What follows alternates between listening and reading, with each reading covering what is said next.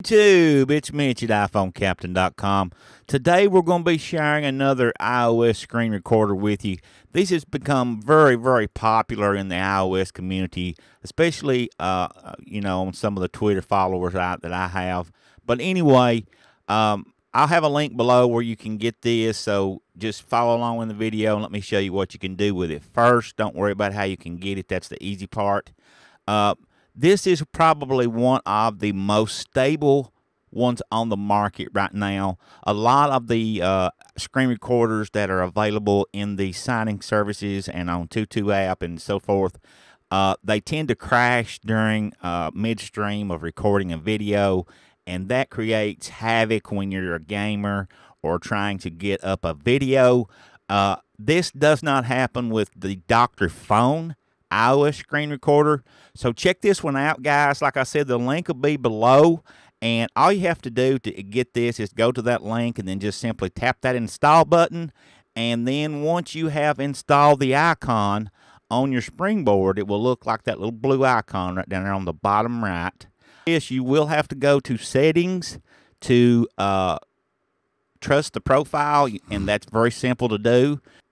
Just go into the settings app, tap General, go down to Profiles Device Management, tap Eager Bidder Friendly, and right there where mine says Delete App, you'll need to tap Trust. Now, once you've done that, you're ready to use the app, guys. Just go back to the app, open it up, and like I said, this is a phenomenal app, guys. Uh, now, once you are in the app here, you open it up in the orientation here. You can, uh, I'm sorry, the resolution, you can have 720 or 1080. Uh, you can have audio. If you have a mic you want to plug in, that's going to be left up to you. You can automatically split the video. You can change the orientation, whether you want it on left, right, or portrait. And it's just that simple, guys it does require you to purchase it. Now you can record up to a minute. So if you wanted to record in one minute increments you can do that but that's going to be totally totally left up to you. Uh, like i said i'll have the link below but i'll show you what you can do with it here.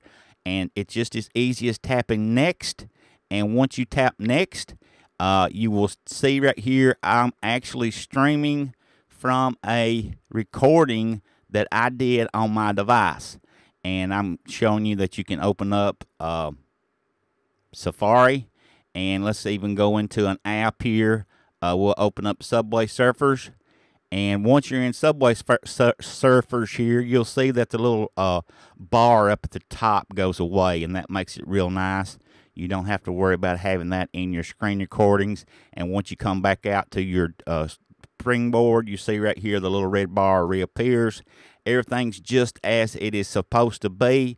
Guys, this is a phenomenal little tool. Be sure to check this out. I know this is going to be one of the, the, best screen recorders on the market. Uh, this company is a huge company and they stand behind their products 100%. If you have any problems, they will get behind you and help you resolve them. Be sure to hit that thumbs up, share this video, and keep coming back.